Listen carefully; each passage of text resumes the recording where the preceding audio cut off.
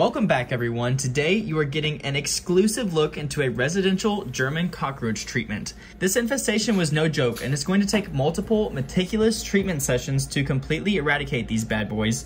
German roaches are the notorious roaches that infest kitchens. They're widely considered the most disgusting and difficult to exterminate pests across the world this customer came into our office a few days ago to set up the service, and I'll actually give the customer a lot of credit because he blatantly admitted that there were going to be a lot of roaches, and he was right. In today's video, basically, I'm going to be showing you exactly what I'm doing and chiming in and narrating some of these events as needed. Pulled the fridge out, and there was uh, just a couple of roaches back there. I sprayed Gentrol and Transport around the walls back here and obviously they're starting to run because we've disturbed them. So I already sprayed back there and there was a big puddle of water.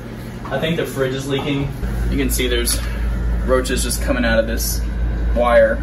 They're definitely, definitely behind here. I wish I could take this apart. Look at you, screwdriver. This is the first time we've been here. We were actually here like a year and a half ago. They called us back because they were still having roaches and continued their habits of not having a clean kitchen. And honestly, if we get this off, we maybe we could just like leave it off. The research shows like it does cause asthma, yeah. roach feces. Yeah, not only are they a, uh, a pest, but they can cause severe health damage to the Yeah.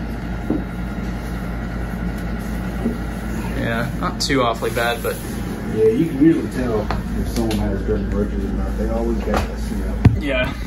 Very distinct smell. Yeah, you can literally smell it when you walk in the door. And it's a duplex, so we're gonna go next door. Oh boy. Yeah, they like to get in little groups like that. They're fairly social. Oh my gosh, look at that. I wonder if the, all those are alive. Looks like a bunch of dead ones too. Yeah. And of course they're gonna sit there and feed on the carcasses. Yeah, they, they do eat the dead roaches, which is disgusting. And you know, normally if you don't clean up that and feces, they they still have that uh, pheromone on it. Yeah. Still attractive. Most of those are actually alive in there. See, the babies, a lot of people get those confused with bed bugs.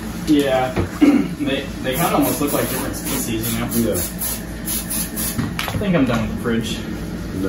When I push back the fridge in here, guys, check out all of the roaches that are on the wall beside me it's interesting, actually, a lot of times after we do an initial cockroach service, the customer will call us the very next day complaining about how they have been seeing more roaches than before. But this is totally normal for the first couple of days after the treatment. When we do a service like this, we want to flush them out of their normal hiding spots and force them to run over the surfaces we have treated with the residual particles. Check out this up-close shot of these adult roaches on the side of this cabinet. If you look closely, you can actually see the little particles that we've already sprayed on them. Let me see the camera real quick. You can see back in there. They always hide in the back of the cabinets. All those black spots are droppings and main problem with this house is just going to get them to clean a lot because it's not super dirty but cluttered and and crumbs everywhere. If the roaches have food sources and places to hide, then it's just going to be harder for us to treat this properly. Oh, wow, look, they must have put this one out themselves. Oh my god. Completely full, pretty much, except the top isn't really full. Mm, sexy. they definitely got them. I actually hardly ever see roaches behind stoves, but I always just pull them out and treat behind them just in case. There's definitely a potential for roaches to get back there, but they prefer refrigerators more than stoves. This is another really heavy area. Gosh, I mean, I can't even see that without the camera, without the phone, but they're right behind the cabinet. In almost all of my videos, I have a flashlight whether I'm doing a termite inspection or roach treatment. Flashlights are extremely important in order to properly execute treatments like this. Almost all pests are excellent hiders, and if you don't have a flashlight, they're just going to be creeping around the dark areas that you can't see normally. That's why they're always in the cracks because they're hidden from light, they're hidden from predators. It's just in the nature of these pests to infest areas like this that don't have much light. And most of the time, guys, houses that are just poorly lit, the people that live there even have a hard time seeing some of these bugs. A lot of times roaches will travel units, especially if they're connected, if they're separated by like a, a yard, if they're single family homes, that's what I hear a lot of customers say is like, oh, my neighbors across the street have roaches, and that's how I got them. Yeah, it only works if you're like in a duplex or an apartment. Yeah, yeah. This stuff it helps flush them out of like places that I maybe missed or didn't spray directly because the particles are really small and it really agitates. It should kill some, but it it mostly just kind of flushes them out of their hiding spots and exposes them to the Gentrol and transport. And I love the nozzle on this thing, so you can you know stick it between. There's a baby one. Stick it between the cabinet and the stove, and squeeze it, and it you know gets way back in there. Yeah, those straws do help out a lot. they Sometimes I wish we had some that are longer.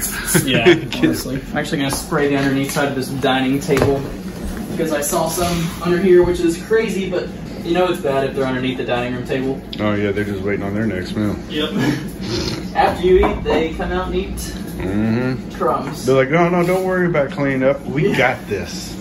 Like I bet you do. Put out some glue boards just to help us monitor how bad they are. And, and this is the second side of the duplex. We just got over here doing the treatment and pulled out the fridge. It's definitely not as bad as the other one was, but there's a lot of dead roaches and a bunch of clutter back here and live ones, of course. If your electrical outlet looks like that, all those black spots are roach droppings. Something like this.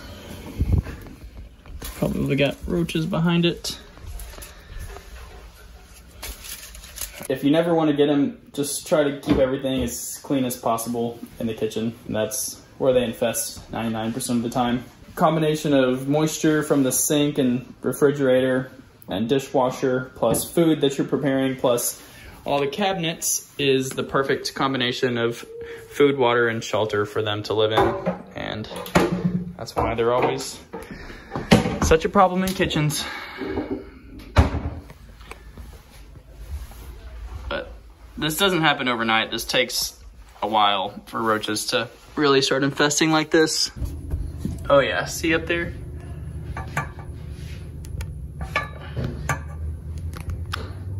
That's the edge of the TV stand.